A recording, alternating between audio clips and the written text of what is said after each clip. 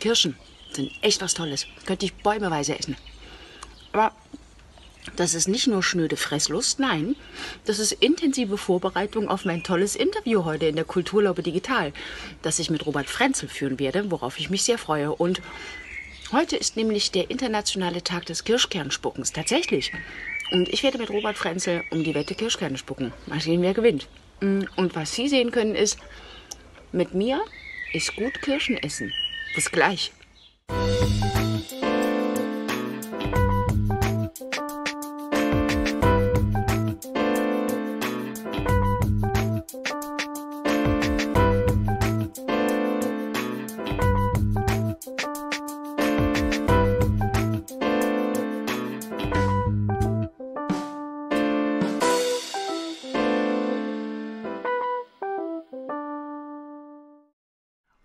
Wir wieder mit unserer täglichen Live-Sendung Kulturlaube Digital hier aus der Barfüßer Ruine Erfurt. Schön, dass Sie auch heute eingeschaltet haben. Schön, dass Sie, liebe Zuschauer, auch da hinten Platz genommen haben.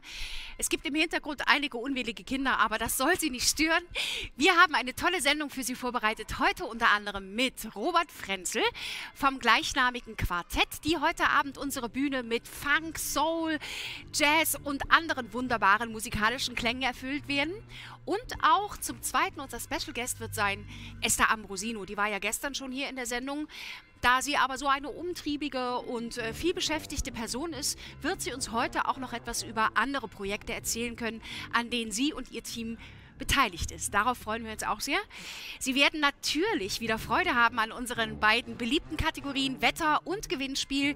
Wir haben das ja in den vergangenen Sendungen schon geübt, wie das geht mit dem Anrufen. Das müssten Sie jetzt also verinnerlicht haben. Greifen Sie zum Telefon, rufen Sie an. Sie können ohne Scheiß, sagt man nicht im Fernsehen, Entschuldigung, aber trotzdem Herzensangelegenheit.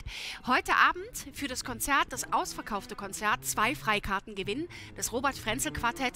Heute mit, ich kann nur sagen, einem totalen Überraschungsgast, der bis heute Mittag auch noch nicht wusste, dass er heute Abend mitspielen wird. Also, es bleibt spannend und für Sie eine großartige Chance, sich diesen Abend nicht entgehen zu lassen. Und da wir in unserer Sendung ja auch immer darauf bedacht sind, so ein paar kleine Side-Facts Side, mhm, Side an Sie weiterzugeben, möchte ich Ihnen heute noch erzählen. Heute ist übrigens der Tag des Kirschkernspuckens, tatsächlich, den Schmeichle deinem Spiegelbild-Tag und der Tag des Ungehorsams. Und während Sie jetzt noch darüber nachdenken, welche der drei Dinge Sie heute schon erledigt haben, kann ich wunderbarerweise überleiten zu unserem tollen Künstlerinterview, dem Laubenplausch. Das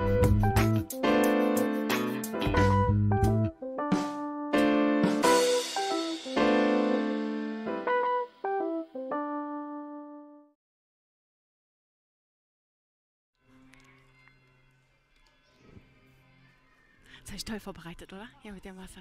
Genau. So, und da sind wir wieder zurück. Herzlich willkommen, liebe Zuschauerinnen und Zuschauer, liebes Publikum. Herzlich willkommen, lieber Robert. Ich bin dir so dankbar, dass du dir in dieser verrückten Vorbereitungszeit, die ja heute noch mal außergewöhnlicher ist als sonst, Zeit genommen hast, um mit uns einen kleinen Plausch zu halten. Ich wollte dich kurz fragen, hast du denn heute schon Kirschkern gespuckt? Ich habe, glaube ich, heute von den drei Sachen, die du gerade erzählt hast, noch gar nichts gemacht. Noch gar also, nichts? nee, noch nicht mal ungehorsam Also, gewesen. da, so, das, ist, genau. äh, das ist schlecht. Du Hatte hast dir das keine alles Zeit gemerkt. dafür heute. Keine ja, Zeit. Sondern du hast es schon angedeutet, wir mussten es ein bisschen äh, umorganisieren. Ja. Leider ist unser Schlagzeuger, der Markus, äh, aus gesundheitlichen Gründen ausgefallen, hat mich angerufen heute Mittag, so er kann leider nicht. Und äh, zum Glück haben wir den Kilian jetzt dabei, Ja. genau. Aber äh, es war doch ein bisschen Organisationsarbeit. Aufregend. Und wir, Und ich werde dich auch nicht furchtbar lange hier in unserem Gespräch aufhalten, weil ihr noch ein bisschen Dinge besprechen und auch anspielen müsst, was ihr ja auch sollt, damit das heute Abend super, großartig, perfekt wird. Ich habe trotzdem einen Wunsch an dich. Mhm. Würdest du mit mir als jemand mit einem unfassbar trainierten Zwerchfell, was ich denke, was man haben muss, wenn man verschiedene Blasinstrumente bedient, würdest du mit mir trotzdem ein Kirschkernweitspucken machen? Auf jeden Fall. Es ist, äh, ich probiere immer gerne neue Sachen aus. Ich habe es, glaube ich, das letzte Mal mit vielleicht vier gemacht oder fünf Sehr gut, so. da habe ich entscheidenden Vorteil. Mal gucken, Ich mach so, das öfter. aber genau. Ich muss noch kurz Schleichwerbung Die Wahl machen. der Kirsche ist, Genau. glaube ich, entscheidend. Ne? Die Wahl der Kirsche ist entscheidend. Und diese großartigen Kirschen, die Sie hier sehen, die sind tatsächlich frisch gepflückt. Ah, da ist die Kamera. Die sind frisch gepflückt pflückt aus dem Garten von Markus und Anna, die auch zugucken. An dieser Stelle einen herzlichen Gruß an euch. Wir schauen, wer gewinnt. So, Und, äh, die Frage, in welche Ja. Richtung bogen wir? Wollen wir die Wir Kamera haben- treffen Na, oder die Kam Kamerafrau vielleicht? Also Ja. das wäre natürlich der Jackpot. Wenn du das Absolut. triffst, dann überlege ich mir hier noch aber wirklich einen anderen Preis. Du darfst anfangen mit Kirschkern Okay. und ich ziehe nach. Und vielleicht ist die Linie, guck mal, hier vorne gibt es so, da gibt es hier so Mhm. eine schöne Linie. Und wenn man sich da dran stellt und nicht übertritt und wir spucken in die Richtung, vielleicht Wollte treffen sagen- wir ja Menschen. Ladies first. Echt? Hm, okay. Hm, hm, hm, mhm. Vielen Dank für Ihre Geduld. Genau. Es sind nicht mehr so viele Hauptsache, Zähne im Mund. Nur der Kirschkern raus auch. Das wollen wir hoffen. Okay, gut. Jetzt habe ich den Kirschkern verschluckt. Du musst anfangen. Okay. Leg mal einen Poch. Oh, Toll. ah, der ging weit. War gut, ja. Hm? Okay, ob ich das. Mh, ob ich das so. Mh. Okay. Wir machen jeder zwei Versuche. Mhm. Hab schon, macht Spaß. Oh, das war. Das kommt, einen machen wir noch.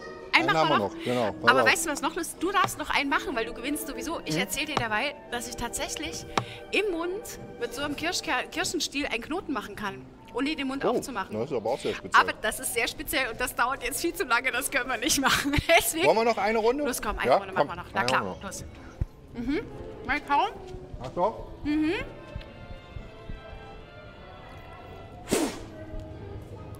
Wow! Ist er getroffen. Immer. Krass. Okay, gut, dann probiere ich nochmal.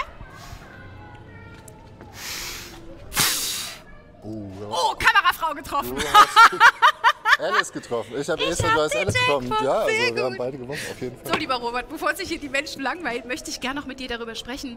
Ähm, das Robert-Frenzel-Quartett besteht ja nicht nur aus dir, wie schon der Name sagt. Vielleicht kannst du uns noch kurz ähm, darüber aufklären, wer heute Abend mit dabei ist. Ja, also aktuelle Besetzung ist für heute Abend der äh, Sammy Lukas Mhm. äh, am Piano, über den ich mich sehr freue. Wir haben schon die letzten Jahre viel zusammen gespielt Ja. und ähm, ganz toller äh, Kollege und Pianist. Genau, dann Benny Langhammer, auch ganz feste Größe hier in Erfurt am Bass. Genau. Ja, ist bekannt. Und äh, wie gesagt, statt Markus Horn heute Kilian am Schlagzeug. Ja, und das, äh, wir haben gestern ja schon zusammen gespielt, auch hier bei diesem äh, Latin-Abend. Genau, Latin und dann sagte Tango. Kilian auch noch, "Och, das wäre doch cool, wenn wir mal wieder zusammen spielen könnten. So, Sammy war auch mit dabei.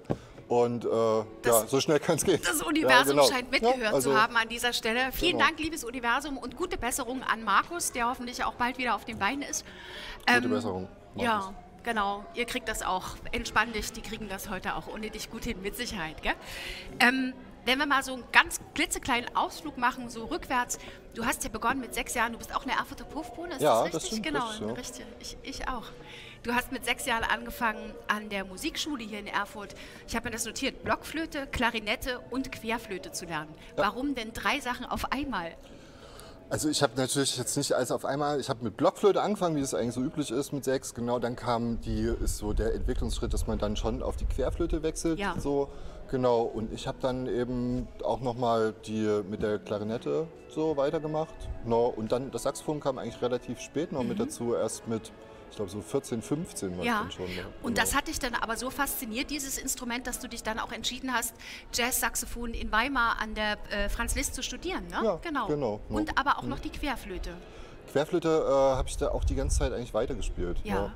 Genau. Und Klarinette, ja, das war zwischendurch ma- hab ich ein bisschen vernachlässigt, aber doch in den letzten Jahren auch immer wieder mit dabei gehabt. So einfach, weil für einen Saxophonisten ist es wichtig, diese ganzen Instrumente zu spielen. Ja. Äh, um zum Beispiel bei Musicals oder im Theater ist das äh, oft einfach Pflicht, dass man nicht nur Saxophon spielt, sondern eben auch Flöte und Klarinette mit bedienen kann. Genau, das gehört Absolut. mit dazu. Ja. Das sind äh, Doublings, sagt man Okay, dazu. Doublings, alles klar.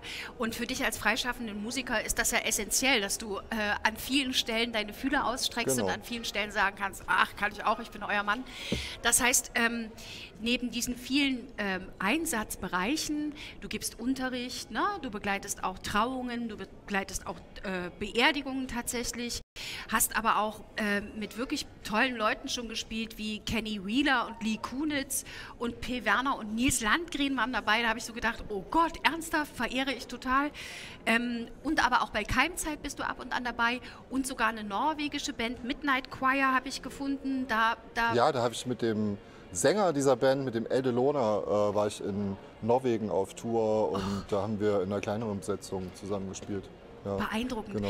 Das sind natürlich auch alle Sachen, die sich so über die Jahre ansammeln. Ja. Ne? Also, genau. Die fallen dir nicht in den Schoß, sondern du tust ja etwas dadurch, dass du deine Kunst uns öffentlich zugänglich machst, hat das ja auch eine äh, ne Rückmeldung, ne? Und die Leute sind interessiert und, und wollen haben. Ja, vor allem äh, als Selbstständiger ähm, hat man immer neue Kontakte auch und dann Mhm. auch dadurch immer wieder neue Möglichkeiten. Ja? Also das ist eigentlich auch das Spannende daran, dass es sich äh, ständig verändert und dass immer wieder neue Projekte sich auftun. Äh, anderes fällt dann vielleicht weg, so, aber es ist eigentlich immer eine schöne, spannende und äh, interessante Entwicklung, die da passiert. Ja. Und hast du eine Anekdote fassbar von, von einem dieser tollen Menschen, die ich jetzt gerade erwähnt habe, äh, die du uns noch kurz erzählen möchtest, über, über eine dieser spannenden Menschenbegegnungen?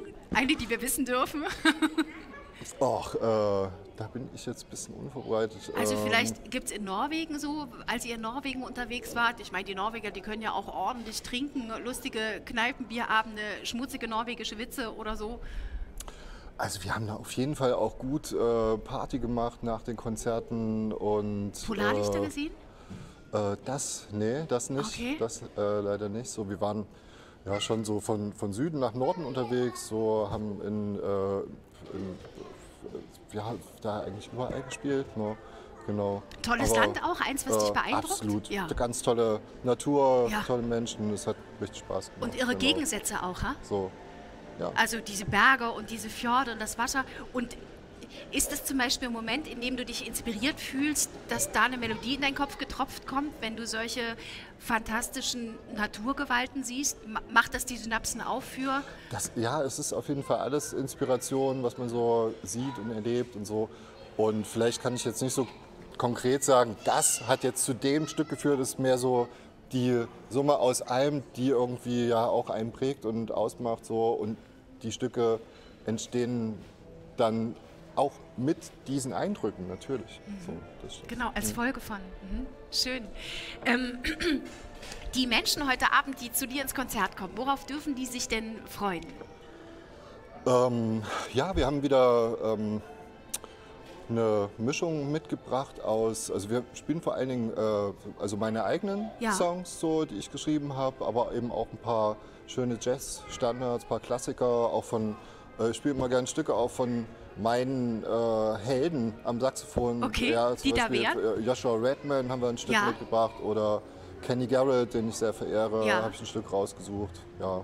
Und äh, ja, ich denke auch ja, von, der, von den Stilistiken her ist es auch so zwischen Swing, Funk, Bossa Nova, was Souliges, bisschen was Poppiges so dabei. Also wenn die Leute heute Abend also fühlen, sie hoffe, möchten tanzen, was dabei. ja, können sie natürlich können sie, oh, das würde euch natürlich freuen und gibt euch natürlich auch viel zurück, ne? Immer cool, wenn die Leute ja, tanzen, ja. Mhm. Immer cool, wenn die Leute tanzen. Ich hoffe, Sie haben jetzt gut zugehört an dieser Stelle. Robert, zum Abschluss, damit du dann wieder abdampfen kannst. Ich habe erfahren, dass du neben Blockflöte, Klarinette, Querflöte, Altsaxophon auch Nasenflöte spielst. Was ist das für ein Das, Instrument, hat, also, bitte? das ist ein Instrument, ähm, was ich erst zu meinem Geburtstag im Januar äh, geschenkt bekommen habe. So, also es ist quasi äh, das neueste äh, Mitglied in meiner äh, Flötenfamilie. Und das ist dieses Instrument. Äh, Okay. Sieht so aus. Okay. Das ist eine Nasenflöte. Ja. Das ist aus Und, Holz, äh, das Material das ist, ist aus Holz, ja, Ja. Das ist anscheinend auch geschnitzt so. Ich weiß jetzt gar nichts über die Geschichte und ähm, habe dann das einfach probiert so Ja. und hatte es dann auch relativ schnell raus, wie es funktioniert, nämlich dass man tatsächlich hier mit der Nase Ja. äh, den äh, Luft reinbläst in die, in die Flöte. Dann gibt es hier, das ist ähnlich wie bei einer Blockflöte, nennt sich Labium. Ja, also Ein da Labium, wird sozusagen ja. der Luftstrom so aufgespannt, da entsteht der Ton und moduliert aber wird das mit dem Mund. Ja? Also man leitet sozusagen den Luftstrom aus der Nase hier in den Mund rein und kann dann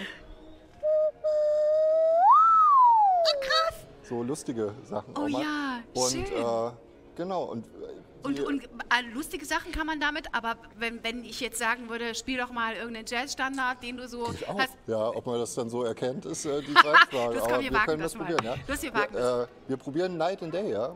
Night and Day, na, probieren wir mal. ja? Ob, ob also wir würde das, so klingen.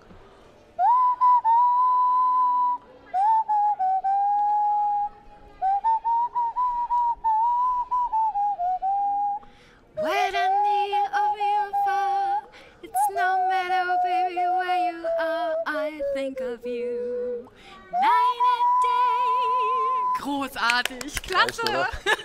Ja, Also ich finde, man erkennt das. Ich hoffe, Sie haben das zu Hause auch erkannt. Lieber Robert, damit entlasse ich dich schon. Ich finde großartig, dass du dich auf unsere Challenge eingelassen hast. Du hast verdient gewonnen. Ich gebe dir nachher an der Bar unter Zeugen ein Getränk aus. ich komme darauf zurück. Feiere deinen Sieg und wünsche dir jetzt einen guten Soundcheck und für heute Abend toi toi toi und Danke ein ganz aufgeschlossenes, tanzwütiges Publikum. Bis bald. Danke. Auf Wiedersehen. Tschüss. Tschüss. Und liebe Zuschauerinnen und Zuschauer, wir machen hier an dieser Stelle weiter jetzt mit unserer beliebten Kategorie, dem Wetter. Dazu möchte ich noch kurz was sagen. Wir haben heute einer jungen Künstlerin, die noch unerfahren ist und auf der Suche nach Ruhm, die Chance gegeben, sich hier zu beweisen und den Wetterbericht heute mal in einer etwas anderen Form zu präsentieren. Feiern Sie sie hart und hauen Sie Likes raus für Shania Rain mit dem Wetter. Okay, Leute, das geht raus an euch. Ich bin Shania Rain. Ich will ein Rapper werden. Und weil das total kompliziert ist, habe ich gedacht, ich fange mit dem Wetterbericht an. Okay, es geht los. Heute spann ich meinen Regenschirm auf, denn der Regen aus dem Himmel fällt da heute drauf. Doch bevor ihr euch jetzt die Haare rauft, sag ich euch konkret, wo ihr so ein Ding kauft. In der Drogerie, besser jetzt als nie. Ich sag S to the I. Vielen Dank, schönen Tag, ciao und merci. Herzlichen Glückwunsch, du hast einen Schirm, eine krasse Protektion für dein Hirn. Doch ich will dich nicht mit meinen Lines verwirren. Mach dich auf den Weg zu uns und lass dich nicht beirren. Bei uns ist es cool. Du bekommst sogar einen Stuhl. Das ist ein ganz krasses Tool. Ich sag lette, lette, lette, lette, summertime rule. Sorry Leute, wenn ich jetzt verstumme, bin als Rapper nicht grad ne derbe Wumme. Deshalb sag ich jetzt, yo, ich bin raus, komm zu dem Barfüßer, sein Haus. Aha, aha, yo, yo. Liebe Zuschauerinnen und Zuschauer, ich hoffe, Shania hat sich in ihre Herzen gerappt. Und wenn Sie finden, das hat sie toll gemacht, dann gebe ich ihr das gerne weiter. Möglicherweise darf sie ja noch einmal bei uns in der Kulturlaube Digital etwas für ihren Fame und äh, ihre Berühmtheit tun und wir werden sie noch einmal sehen, wer weiß. Es liegt an Ihnen. So, jetzt darf ich Ihnen zwei weitere tolle Gäste vorstellen. Das ist zum einen Esther Ambrosino vom Tanztheater Erfurt, die künstlerische Leiterin des Tanztheater Erfurts und das ist auch Stefan Kirnse, der auch Tänzer ist am Tanztheater Erfurt und zuständig fürs Management und die Öffentlichkeitsarbeit. Herzlich willkommen, ihr beiden. Hallo. Sehr viel erzählt. ihr habt euch hier schon ein Wasser genommen und ich hoffe, dass der Soundcheck zulässt, dass wir trotzdem ein bisschen noch erzählen. Ihr habt gerade im Moment sozusagen, die Füße sind noch heiß, die Vorstellung von Momo beendet. War das heute eine schöne Aufführung für euch? Ist alles gut gelaufen? Ah, das war wunderschön und äh, es war auch ein unglaublicher Genuss, die Kinder zu sehen, dass Ja. endlich nach dieser Pandemie ähm, mit Publikum, mit äh, Kindern zusammen sein konnte, weil wir haben die ganze Probe per Zoom gemacht Oh je, okay. Und, und deswegen es war immer eine große Frage, was passiert, Ja. schaffen wir das? Ja. Aber diese Leidenschaft, diese Liebe, dass auch die Kinder im Tanztheater haben, hat mich total ich war Gerührt, su- super, ja. Mhm. Ich war super berührt und äh, ich muss sagen, es war richtig. Es Mhm. war schön und das Publikum hat auch unglaublich Applaus gemacht und deswegen sind wir dankbar. Toll. Und Stefan, gab es denn in dieser Zeit, die du ja auch begleitet hast, nicht mal den Punkt, wo man gezweifelt hat und die Hände gehoben hat und gesagt hat, wir geben das hier alles auf, es hat keinen Sinn? Ja, doch, diese, diese Momente gab es. Aber ja, Ich glaube, jetzt ist der Moment Jetzt- gekommen, an dem wir zur Keule greifen und das unterstützen, lieber Leben. ja. Äh, genau, also diese Momente gab es. Und wir haben natürlich immer gekämpft und, und gedacht, Mensch, wird das was, wird das nix? Unsere Politik hat ja auch immer nur kurzfristige Aussagen Ja. getroffen und es war schon schwierig äh, zu planen. Aber am Ende des Tages haben wir immer gedacht, okay, wir machen das. Irgendwie wird es schon gehen. Und deswegen sind wir umso glücklicher, dass wir Schön. heute auf der Bühne stehen konnten. Wunderbar, einen herzlichen, herzlichen Glückwunsch auch von uns. Das war wirklich großartig. Ähm, ihr habt aber noch ganz, ganz viele andere Sachen in petto. Ne? Seit dem 6. Juni ist euer äh, Tanztheater wieder auf und die Kurse können auch wieder in Präsenz stattfinden. Du hast es ja schon gesagt, Esther, das Berührendste ist eigentlich tatsächlich die Energie von Mensch zu Mensch zu spüren und nicht mehr wieder eine Scheibe dazwischen zu haben, oder? Ja. Ja, das war, das war wirklich eine schwierige Zeit, alles äh, online zu machen, per Zoom. Äh, man kann ja auch nicht korrigieren, oder? Also wenn sich jemand wehtut oder so. Äh, korrigieren, man muss die Unterricht andere machen, weil der Raum ist total andere. Aber ich muss sagen, äh, es ist wirklich, äh, die Leute äh, sind bei uns, weil die bei uns sein wollen. Ja, Und äh, dieser Kontakt auch nur so per Screen zu haben, es war für deren auch äh, super wichtig. Und ich bin wirklich unglaublich dankbar, dass diese, diese, äh, dieser Prozess auch stattgefunden hat, weil jetzt, dass wir wieder angefangen haben, die Leute sind wirklich, die bringen Freunde und alles. Das ist wirklich zu sehen. Wir haben alle richtig gemacht, auch wenn, muss ich sagen, es ist schade, dass die Kunst und Kultur immer nach hinten geschoben wird. Und äh, Kunst und Kultur ist super wichtig Ja. für eine Gesellschaft. Ja. Und man kann wirklich sehen, in einem Verein wie bei uns, ähm, und ich hätte gerne gehabt, welche Politiker heute sich das Stück gesehen hätte und äh, was man vermisst hat. Genau. Ja. Und wie, wie dankbar und wie wichtig und grundsätzlich wichtig Ja. das ist, auch Ja. für einen, äh, für einen Kinder- und einen jugendlichen Alltag, Total. ne? sich mit solchen Dingen und auch mit sich auseinanderzusetzen, für jemand anderen. Genau. Stefan, vielleicht können wir noch äh, kurz sprechen. Ich habe auf eurer Internetseite gelesen über ein tolles Projekt, das nennt sich Zug. Ähm, und die Ankündigung, dass die Erfurterinnen und Erfurter tatsächlich auch sich beteiligen können, um bei dem Projekt mitzuwirken. In welcher Art und Weise denn? Genau, also Zug ist ein ganz spannendes Projekt. Das, äh, Macht ihr zusammen mit der Tanzkompanie Ich bin okay aus Wien, ne? Ganz genau, genau. Ja. Und die haben sich spezialisiert äh, auf die Arbeit mit äh, Behinderten. oh, okay. Und ähm, also es sind äh, zu 80 Prozent äh, Behinderte mit Down-Syndrom, Ja. Die aber dort eine Tanzausbildung machen, als Dance Assist arbeiten können Ja. und eben professionell tanzen. Und mit denen haben wir eine Kooperation äh, äh, durchgeführt ja, Ja. jetzt, die eigentlich äh, vor drei Wochen Premiere gehabt hätte. Mhm. Wir haben sie jetzt auf eine Videovariante umgeswitcht, haben alles abgefilmt. Und wenn das Video fertig ist, wollen wir einen Inklusionsworkshop machen, also einen Tanzworkshop Ja, für behinderte Menschen in Erfurt und Umgebung, um einfach dieses Thema aufzugreifen und daran Genau. festzuhalten. ja, und auch präsenter zu machen, Genau, ne? in genau. unser aller, aller Alltag. Ja, und das ja, ist ja ja. auch dringend notwendig. Genau. Wird es denn dann auch eine, eine Live-Präsentation geben? Werdet ihr das schaffen können? Wahrscheinlich nicht, weil die schon wieder in Genau, Wien genau. sind. Also es ist ein bisschen problematisch, weil die sind auch gut ausgebucht Mhm. und alles, was sich bislang äh, so zurechtgeschoben hat, ja, das fällt jetzt an und ähm, ja, um einen Tag hier was zu machen, müssen wir halt drei Tage einplanen, einfach Okay. einen Tag Hinreise, einen Tag verstehe. Abreise und verstehe. es wird schwierig, aber wir Ja. haben für 2023 was Neues geplant. Mal gucken, was da passiert. Okay, zücken Sie Ihren Kalender 2023 äh, schon mal notieren. Das heißt aber auch, die Erfurterinnen und Erfurter konnten mitwirken, indem sie Fotos von bestimmten Momenten, die ihnen wichtig sind, Genau. festgehalten haben. Genau, Ne? genau. Also wir wollten, das war so die ursprüngliche Idee, die Reise von Erfurt nach Wien fotodokumentarisch vertanzen. Ah, okay. Und hatten dann auch aufgerufen an Erfurter Fotografen, Hobbyfotografen, wir wollten nichts Professionelles. Ja. Und anhand dieser Bilder, die uns erreicht haben, die auch fantastisch waren, haben wir dann einfach ein Thema entwickelt und den Zug äh, zum Rollen gebracht, sozusagen. Toll. Großartig. Bin ich sehr gespannt darauf, das zu sehen. Das klingt toll. Esther, an dich natürlich noch die Frage. Du bist in diesem Jahr die Choreografin der Sommerkomödienproduktion Cyrano de Bergerac.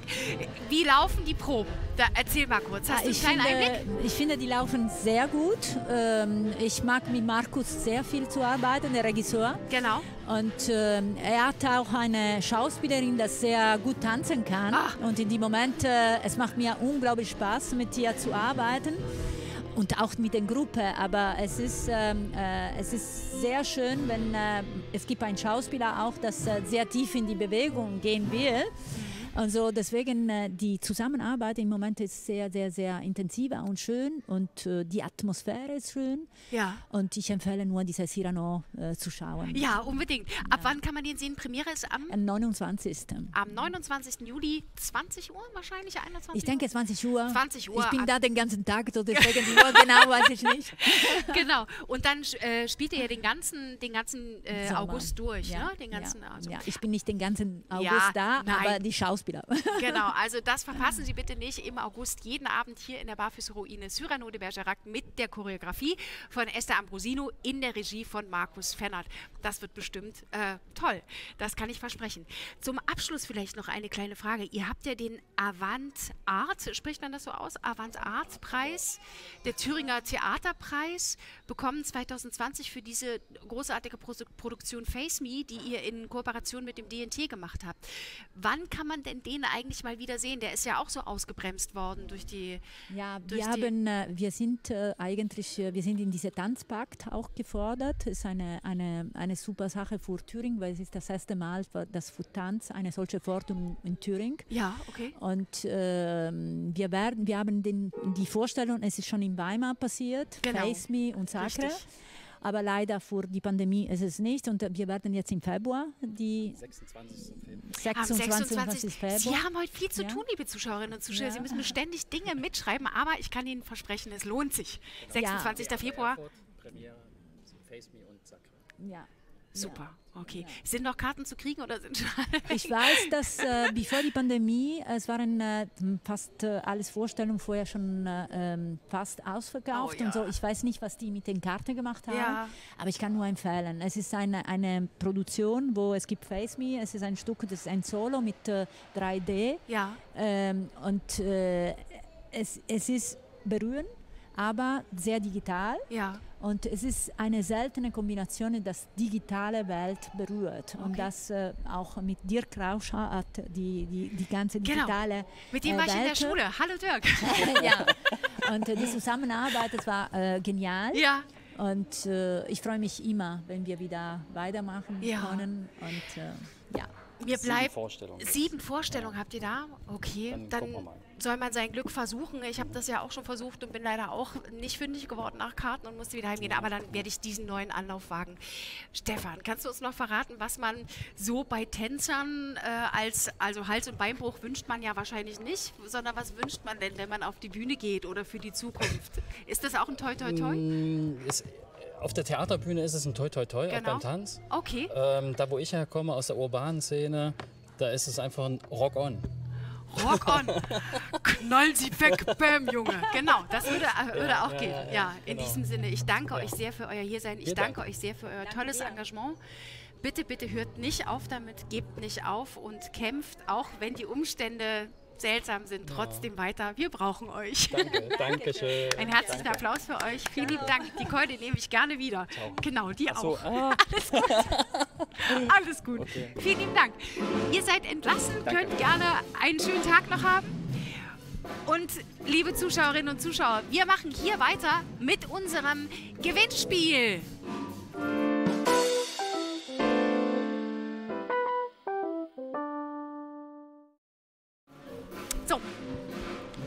Gewinnspiel. Nebenher großartige, funkige, soulige Klänge, die Sie spätestens jetzt animieren sollten, gut zuzuhören, weil die heutige Gewinnfrage ist etwas tricky, aber bewusst gewählt. Wir wollen die Karten ja auch nicht verschleudern. Hören Sie gut zu. Die heutige Gew- Gewinnfrage lautet, wo entspringt die Nienstedt? A. In Teichröda oder B. In Volkershausen? Ich wiederhole nochmal. Wo entspringt die Nienstedt? In A. Teichröda oder B. Volkershausen? Die Nummer, die Sie anrufen müssen, um mit mir zu sprechen, um zwei Freikarten zu gewinnen, sehen Sie jetzt unten eingeblendet am Bildschirmende. Äh, ich hoffe sehr, dass Sie sich zu Herzen genommen haben und heute mit mir telefonieren werden. Ich hole das Telefon. Hier ist es.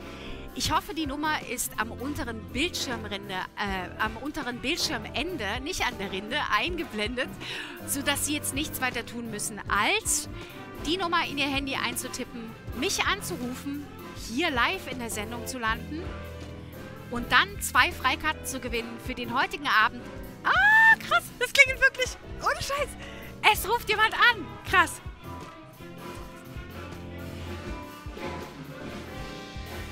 So, einen wunderschönen guten Abend. Es ist ein bisschen laut bei uns, aber wen habe ich denn am Telefon? Hier ist Julia von der Kulturlaube Digital. Hallo Markus. Sehr schön, dass es geklappt hat. Wie cool. Wir haben die Gewinnfrage gestellt. Wo entspringt die Nienstedt? A. Teichröder oder B. Volkershausen? Was ist deine Antwort?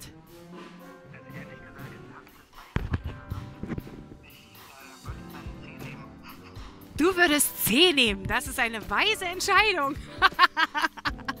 Wollen wir sagen, dass C das gleiche wie B ist? Sind wir uns einig? Na gut, machen wir so.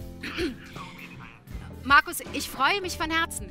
Du und ähm, jemand, der dich begleiten möchte, könnt heute Abend an der Abendkasse eure zwei Freikarten abholen. Wir machen das jetzt folgendermaßen. Ich rufe euch gleich zurück und wir vereinbaren ein Codewort, so total James Bond-mäßig, mit dem ihr eure Freikarten dann an der Abendkasse ab abholen könnt. Wollen wir es so machen? Cool. Ich freue mich sehr mit dir, mit euch, wünsche ein, euch einen fantastischen Abend und rufe gleich zurück in circa fünf Minuten. Gut? Okay, bis dahin. Tschüss. Ja, Wahnsinn.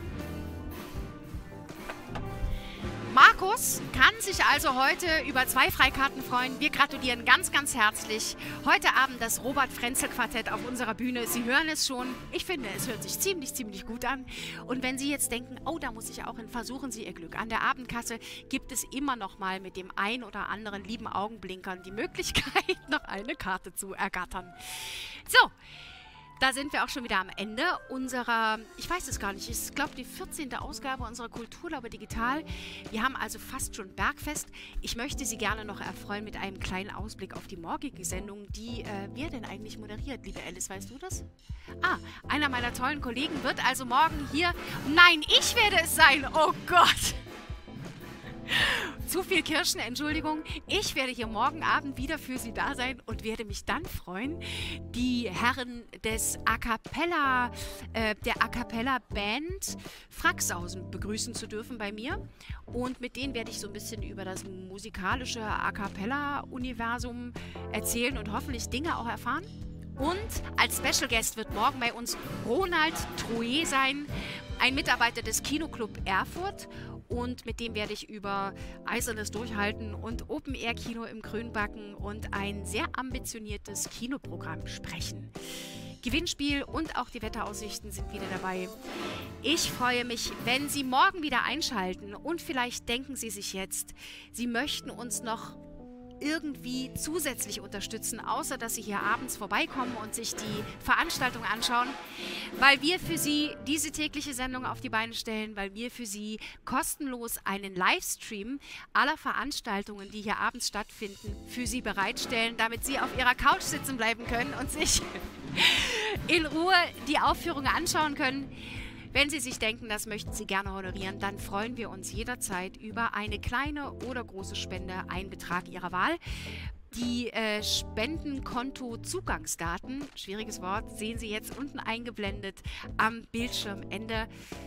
Fassen Sie sich ein Herz, unterstützen Sie uns und äh, machen Sie uns und sich eine kleine Freude. Das kommt nämlich alles aufs Karma-Konto. So, in diesem Sinne hat sie wieder viel erzählt heute, aber so ist das. Ich wünsche einen schönen Abend und freue mich, wenn Sie morgen wieder dabei sind. Tschüss.